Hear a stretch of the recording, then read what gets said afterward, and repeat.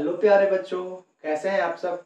आज का हमारा टॉपिक है प्रत्यय। जी हाँ पिछले क्लास में हमने प्रत्यय जाना था और प्रत्यय का मैंने परिभाषा जाना था और परिचय जाना था। प्रत्यय कितने प्रकार के होते हैं मतलब बेसिक चीज़ जाना था प्रत्यय के बारे में। और आज हम इस वीडियो में जानने वाले हैं क्युदंत प्रत्यय। और क्युदंत प्रत्यय बहुत ही बहुत सारे होते हैं, बहुत प्रकार के होते हैं। तो हम उसको एक एक करके देखेंगे। तो इस वीडियो में हम जानने वाले हैं कथ प्रत्यय और कत्वत प्रत्यय। तो आइए शुरू करते हैं। सबसे पहले आता है कत प्रत्यय। कत प्रत्यय जिसके लास्ट में तह लग जाता है। मैंने यहाँ पे कुछ इसके बारे में लिखा है। क्या लिखा है? कत प्रत्यय के लगने से लगने से धातु के अंत में तह लग जाता है। यहाँ पे से लिखना चाहिए था इस प्रकार से। कत प्रत्यय के लगने से धातु के अंत में तह लग जाता है। क्या लगता है? तह लग जाता है। और यह भूतकाल का बोध कराता है। मतलब कत प्रत्यय लगता है तो उसको भूतकाल में बदल देता है। जैसा कि एग्ज़ाम्पल मैंने यहाँ पर लिखा है। देखिए एग्ज़ाम्पल समझते हैं, और भी अच्छे से समझ में आएगा। भू भू मतलब होता है होना। भू का रूप चलता है भवती, भवता भवंती। और भू में अगर कत प्रत्यय लगा देते हैं तो हो जाता है भूता। है और भूता मतलब डराए वाला भूत नहीं होता है। भूता मतलब होता है हुआ। यह भूतकाल का बोध कराता है, इसका हिंदी अर्थ हम कहेंगे हुआ। भू मतलब होना और भूता मतलब हुआ। और ये कत प्रत्यय के लगने से लगा है। ये बात नोटिस कर ली। एक बात और नोटिस कीजिए कि इसके लास्ट में तह लग गया है। क्या लगा है? तह लगा है। तो जहाँ भी कत प्रत्यय लगे लास्ट में तह लगना ज़रूरी है। तो आप पहचान भी कर सकते हैं ऐसे चलिए, देखिए, दूसरा जो धातु बनाए हैं, दूसरा जो बनाए हैं एग्ज़ाम्पल गम। गम मतलब होता है जाना।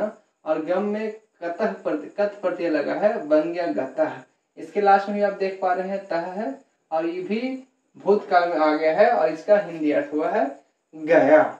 इसका हिंदी अर्थ क्या हो जाएगा? गया। गम मतलब होता है जाना, और इसको कत प्रत्यय लगाने के बाद बन जाता है गया। इसी प्रकार से पठ। पठ मतलब होता है पढ़ना। कत प्रत्यय लगने के बाद हो जाता है पठिता। लास्ट में तह लगा हुआ है, और इसका हिंदी अर्थ हुआ पढ़ा गया। पढ़ा गया। पा प्रत्यय पा मतलब कि पीना, पा जो है, वो पीव का मूल रूप है। पीव मतलब होता है पीना, और इसी का मूल रूप होता है पा। तो अगर पा में कत प्रत्यय लगाएँगे तो बनता है पीता मतलब पिया गया।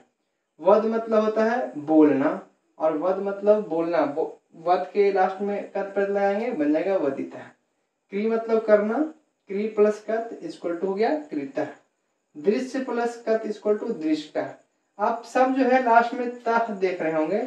एकमात्र ऐसा एग्ज़ाम्पल है जिसमें टह लगा हुआ है।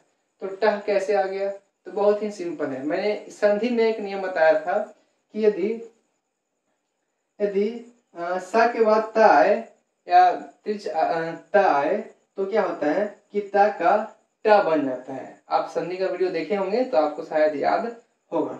तो त जो है यहाँ पे तह आता है, लेकिन त का ट बन जाता है संधि के नियम के अनुसार। तो इसी प्रकार से हो गया दिस प्लस का इक्वल टू दृष्टा। तो ये है हमारा कथ प्रत्यय, पहला नंबर प्रत्यय है कथ प्रत्यय, जिसके लास्ट में तह जुड़ जाता है। तो आप इसको बहुत ही आसानी से पहचान सकते हैं। कभी कभी ऐसा एग्ज़ाम्पल देता है कि पहचानिए इसमें कौन सा प्रत्यय लगा हुआ है। ऑप्शन रहता है दो चार दे तो हम कैसे पहचानेंगे? तो आप लास्ट वाला देखकर पहचान सकते हैं। कथ प्रत्यय है तो लास्ट में तह लगा हुआ होता है। तो आप पहचान लीजिए तह लगा हुआ है। तो मतलब कि कत प्रत्यय है और तह नहीं लगा हुआ है तो किसी और प्रत्यय का है। और कहीं कहीं जो है, यहाँ पर टह है तो इसको भी याद करना बहुत ज़रूरी है। तो ये था हमारा कत प्रत्यय, बहुत ही आसान और बहुत ही सिंपल है। और अब हम जान लेते हैं कत्वत प्रत्यय। तो आइए, इसे भी देख लेते हैं। और अब बारी है कत्वत प्रत्यय जानने का।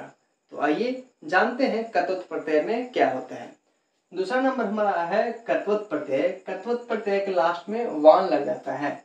कत्वत प्रत्यय के जुड़ने से लास्ट में वान लग जाता है। मैंने इसके बारे में कुछ लिखा है। कत्वत प्रत्यय के लगने से धातु के अंत में वान लग जाता है और यह भूतकाल का बोध कराता है। कत प्रत्यय भी भूतकाल का ही बोध कराता है और कत्वत प्रत्यय भी भूतकाल का ही बोध कराता है। लेकिन कत्वत प्रत्यय के जुड़ने से लास्ट में वान लग जाता है। आइए इसे हम एग्ज़ाम्पल से समझते हैं तो अच्छे से समझ में आएगा। ये है भू। भू मतलब होता है होना। अभी अभी मैंने आपको बताया है कत में। भू मतलब होता है होना। और भूत में अगर कत्वत प्रत्यय लगाएँगे तो बन जाएगा भूतवान। इसमें आप नोटिस कीजिएगा लास्ट में वान लगा हुआ है। वान। प्रत्यय के जुड़ने से लास्ट में वान लग जाता है। और भूतवान का मतलब भी होता है हुआ।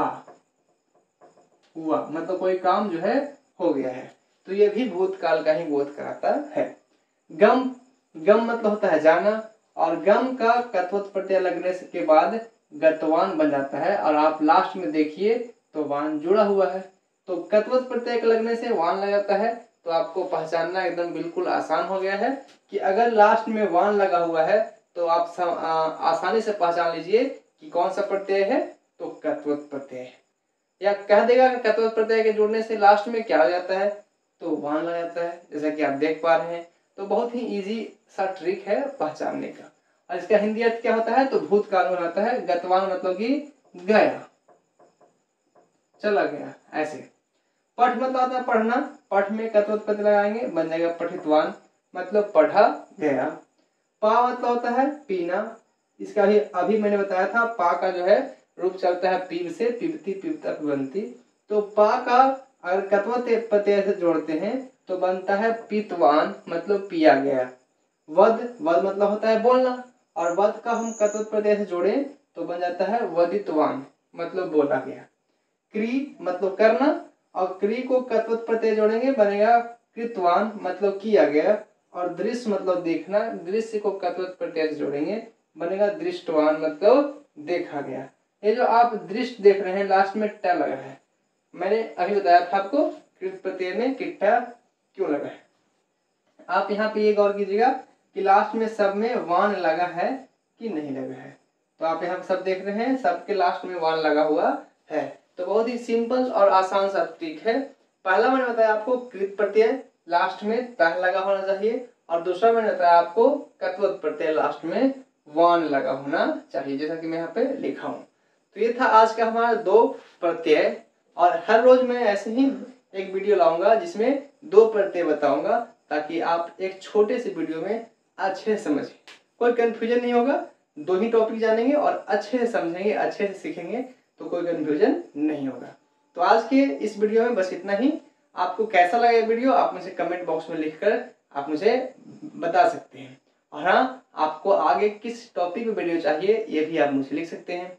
तो फिर मिलते हैं एक नए वीडियो में, एक नए टॉपिक के साथ। तब तक के लिए देखते रहिए सीखते रहिए। बाय जय हिंद।